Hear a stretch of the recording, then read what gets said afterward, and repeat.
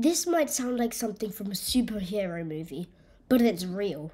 Scientists are discovering ways to store huge amount of information inside diamonds. Yes, the sparkly kind. But how can something used in rings and necklaces work like a computer memory chip? Stick around to find how these shiny gems can help power the future of technology and even quantum computers. One thought at a time.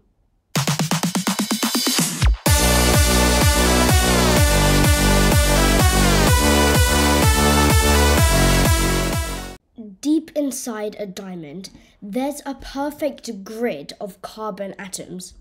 But every once in a while, there's a tiny mistake in the pattern, and that's actually a good thing. If one carbon atom is missing and a nitrogen atom takes its place, it creates a special spot, special spot called a nitrogen vacancy or NV center. Think of it as like a tiny parking space where an electron can chill out and more importantly, store information based on how it spins.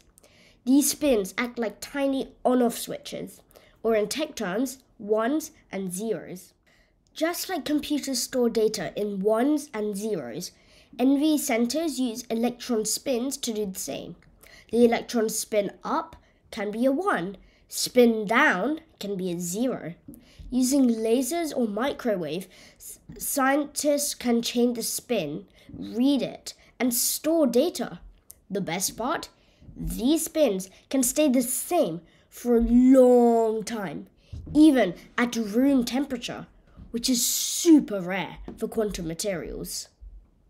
But so while you might carry a USB stick in your backpack, imagine storing all your files into something the size of a sugar cube and one of the most expensive things in the known world. Diamonds are one of the strongest materials on Earth. They don't melt, rust, or scratch easily. That means your data could last for hundreds or even thousands of years. You can store huge amounts of information in a tiny space. Imagine an entire library inside a glittery chip. And because NV centers don't need constant power, it could lead to energy efficient memory. This could be a big win for the environment too. This is where it gets even cooler. NV centers are part of a field called quantum memory, which stores information using the rules of quantum physics. Quantum physics is the science of things that are super small, smaller than atoms. In the quantum world, an electron can be in more than one state at once, called superposition. This helps scientists store and process information faster than any regular computer. Diamonds are one of the few materials that can do this at room temperature, which is a big deal for making quantum computers in the future. Will computers made of diamonds be a thing? Not just yet. Natural diamonds are too expensive, and the kind used in labs are grown carefully with special tools but researchers are already making lab grown diamonds just for tech, and they're getting better at it. So while your next phone probably won't be sparkly, it might have a memory chip that owes its power to the science of diamonds. Why does this matter?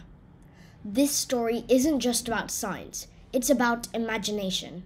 It shows how something as old as a diamond can be used in new, cutting edge technology.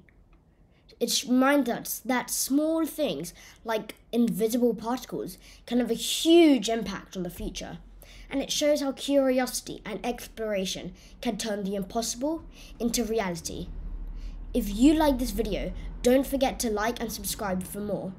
Bye for now.